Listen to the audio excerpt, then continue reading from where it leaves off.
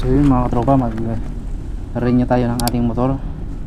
So susubukan natin kung mararenew ba yung naka open pipe, ah, naka shifter. So di ko alam dito sa Pasay kung mahigpit no. So tinanggal ko muna yung aking araro dahil yan baka masita or yung pag-extensile din hindi madudukot. So tara let's go mga tropa. Samahan niyo ko. Subukan natin kung mare kung okay lang ba yung open pipe sa pag-renew or yung shifter sa open pipe yun mga tropa.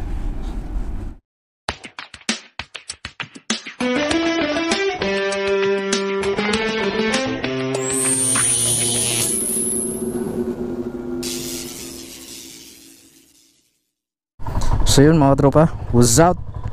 What's up? What's up? So tinanggal ko yung araro niya dahil yung pag-extensil ng ano dito, engine number. Ayan, kaya tinanggal ko muna yung araro. So sana makarinya tayo na walang aberya no. Malapit lang yung LTO dito mga tropa. Sana hindi mahigpit yung LTO ng Pasay. So good mo sa aking biyahe. Sana walang aberya. Ah.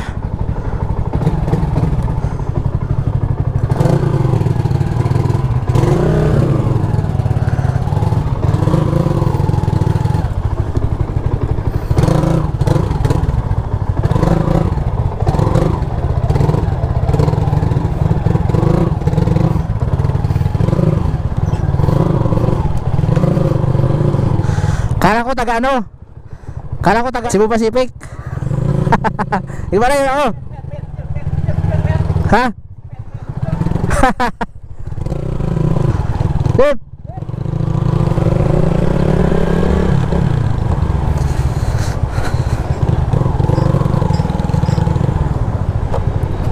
So yun mga tropa, dito lang yung LTO. Sana ay hindi mahigpit dito at makapag-renew tayo. Kumusta kayo dyan mga tropa? Uh, welcome back again so another vlog. So topic natin ngayon ay kung makaka-renew ba tayo ng uh, open pipe yung ating Rambutso and yung ating shifter. Kung marirenew ba?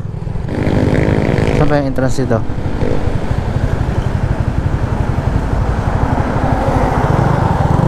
So dito LTO Pasay Mag-renew ako ng motor ko. Restro? Insurance na. Wala pa eh. Diyan ka mag-park oh. Ha? Tapos tagos ka dyan, punta ka sa may kaliwa ka, punta ka sa may medical, katabi ang insurance dyan. Ah, okay. Dito lang to ng motor ko.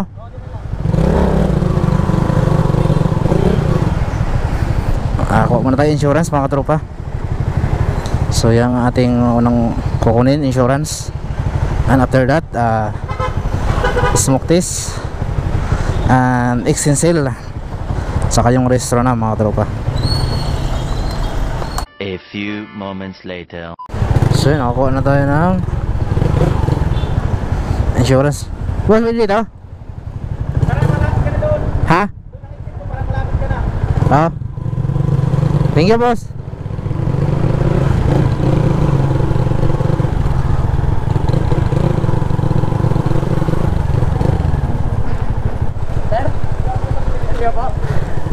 Mahig mahigpit pa dito magaling nyo? Hindi naman, luwag lang. May order pa Xerox. Meron, meron ako, ano, Insurance ka na. insurance. Ha? Baka sitahin yung tambutso ko eh. Hindi ah, dito. Ha? Insurance na ba? Meron na.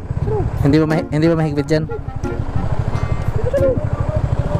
Tayo Ching. Sama ko. Pag may smoke test pa ako eh. Oh, oh, ano, ano, bigyan mo na yung order mo. Xerox. Dito sa amin. Tayo na po. Sama kayo, Busting. Magkano po yung smoke test dyan? Five, one. Resibo naman yan. Ano lahat resibo ito? Ha? Ano, gas resibo. Makikita nyo po, kaya mismo mo magpapayag. Yan, tabat mo. Pwede. Hindi. Kapag iba Xerox, ano? Ito lang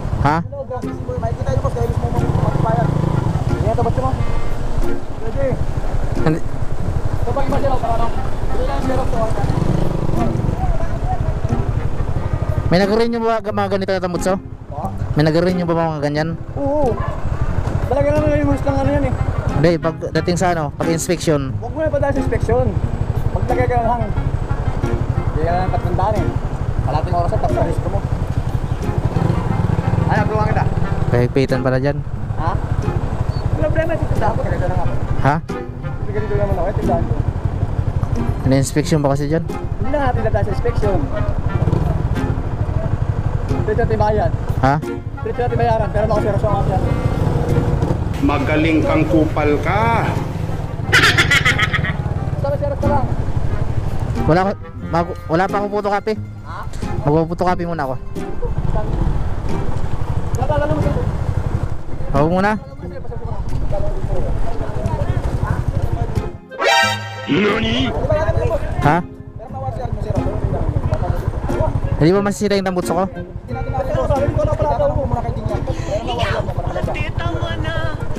Wala, wala ako na eh. Tao.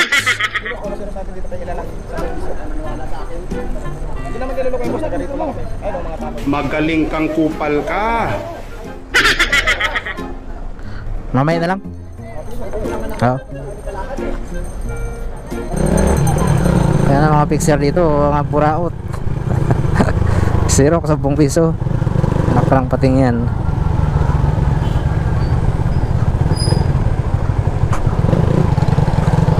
Mahigpit yung Pasay mga katropa. Mahigpit yung mag-renew dito. So, doon ako mag-renew na lang sa Quezon Ave. Daming itsiburitsi dito eh. Sa Quezon kasi mga katropa, ano eh, hindi nila sinecheck yung motor. Nag-renew na kasi ako doon dati. Mahal lang insurance dito. Grabe. 650, anak ng patingan.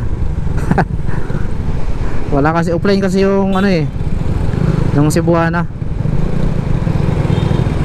Saan ka ba?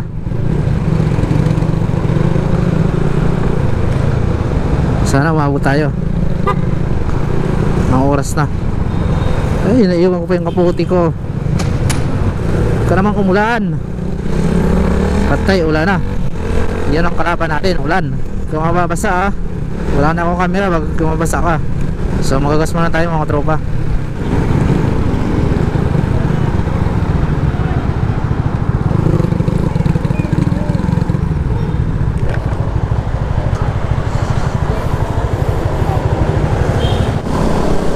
So doon na ako mga tropa mag-rain nyo sa ano Subukan ko sa Quezon Ave Sa may puting bato. Kasi doon ako dati nag-rain Last year. Ah, Walang nag-check doon. Hindi mahigpit doon. So dito tayo sa Rosa Boulevard. Ah, Umuulan. Naiwan natin yung kapote natin. Sana tumigil ka na munang ulan. Mababasa yung camera ko At hindi lang camera ang mabasa, pati tayo. 'Di ba? At sana maka renew natin, maka-renew tayo sa Quezon Ave. At yung smoke test ko mga katropa ay doon ako magpa-smoke test sa Malate. Meron doon smoke test. Napakahigpit ng Pasay. Sana umabot yung ano natin oras, alas 2 na eh. Woo! Walang tigil ulan mga katropa. Ang layo pa ng nirenyuhan natin. Mahirap talaga pag yung motor mo ay marami kang binabago no? Pero yung tambutso ko mga katropa ay hindi naman masyado maingay kasi may mga silencer mayroon yan silencer eh. Doble yung silencer niyan mga katropa. So sana bukas dito. Yung smoke test. Huh, grabing hangin lakas. Ano ba yun dito?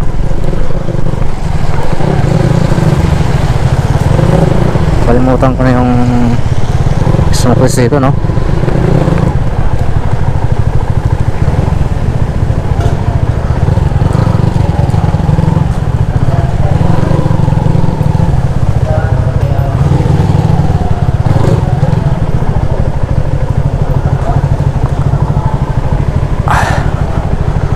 Tapos, smoke test. Smoke test. Smoke test. Emission. Ay, wala na dito? Ha? Bukas na umaga. Ah. Umaga lang pala dito. Paghapon wala. Tapos wala. Alas 9 nga, kato na. Sa umabot natin kasi, wala na. Ah, meron pala cut-off dito. Piraso lang. Wala na. Alas 9, alas 10. Pag umabot 6 eh, wala na. Wala tayo schedule. Una na lang sa umaga. Okay.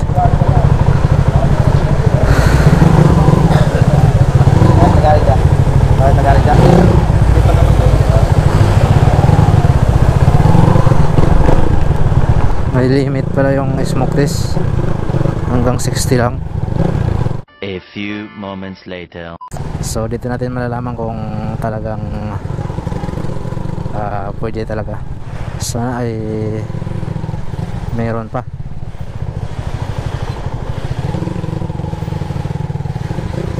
Ba?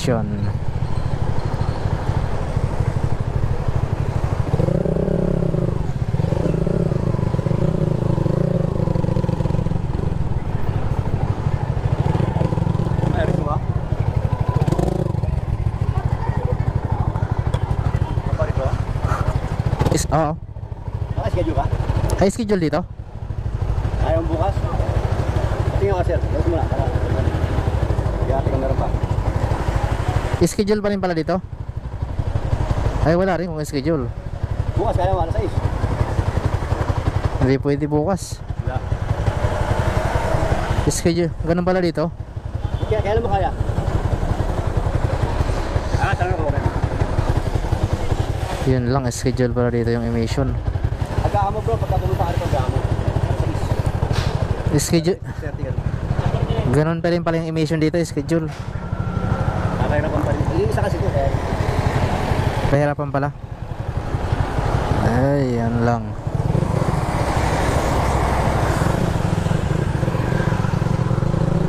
Hirap pa rin magaling yun mga katropa. Abi, wala nang smoke, smoke test yata eh. Ay, smoke test. Wala na hapon eh. Oo, Dito yung test. wala na.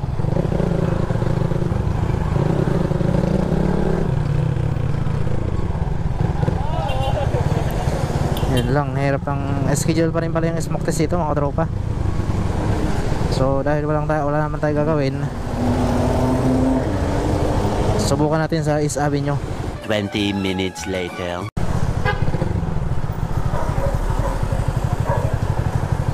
Wala na.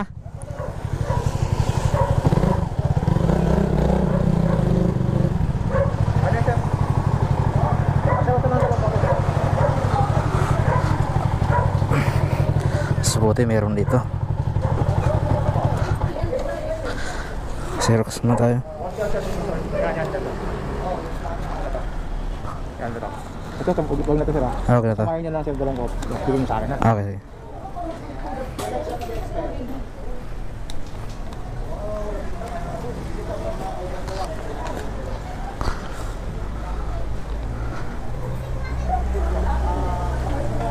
Isa, pagsamahin nyo na yan. Isang kape lang. Isa.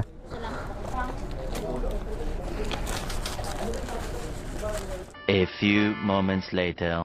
Boss, wala na. So yun, nakapa-smoke test din tayo mga tropa. Problema natin yung renew. Kung aabot pa. Subukan natin. Kung aabot pa to. Quality kasi yun eh. So dito tayo nakapa-smoke test sa Quezon Ave. Ay, Quezon sabi nyo mga tropa. Dahil doon sa Abiyak na ba to ano eh, may cut off. Dito kasi tago tong smoke test dito. Kaya hindi napupuno yung quota.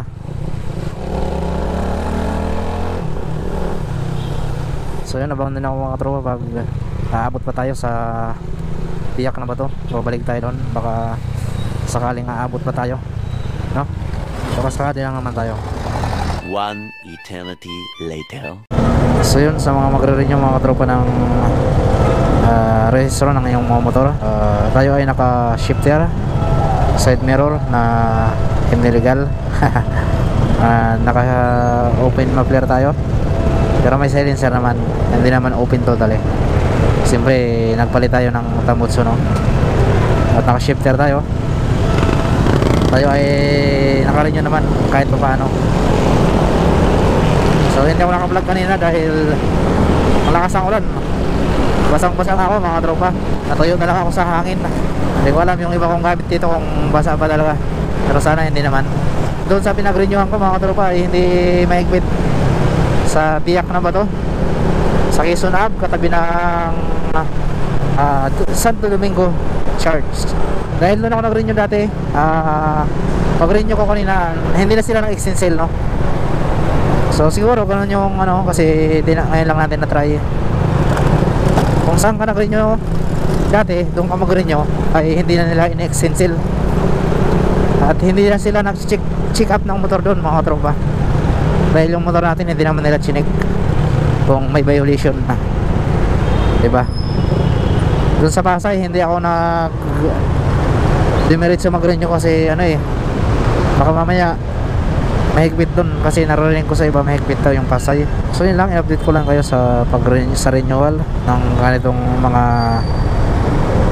klaseng ano ah, accessories shifter and mm, open muffler dahil naka-AC project tayo and side mirror. Maliit yung side mirror natin dapat ang allowed na side mirror ay 4 4 by 4 yata dapat ganito. Apat. Yan. Eh tatlo lang yung side mirror tatlong daliri lang. Dapat apat ang daliri. Yan ang legal na side mirror no?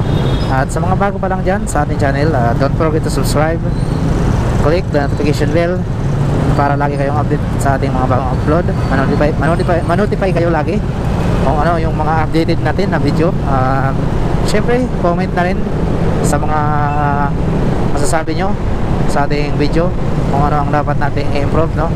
Um, share na rin. So salamat dyan sa ating mga solid supportera sa walang sawang suporta andyan lang kayo lagi para sa akin. So ingat kayo lagi. Lalo na dito sa kalsadang madulas dahil gawa dito sa araw-araw na ulan no? Sana matapos na tong bagyo. Dahil mahirap pag laging ulan no? Shout, shoutout pala kay Renz Motovlog. Subscribe natin si Renz Motovlog mga katropa. Diyan siyang aspiring motovlogger. Subscribe natin yan para na rin nakuha niya yung 1,000 subscribe and 4,000 watts hour. So yun mga katropa hanggang dito lang ating video. Ah, ingat tayo lagi. Uh, God bless sa inyong lahat. Thank, thank you for watching. Bye bye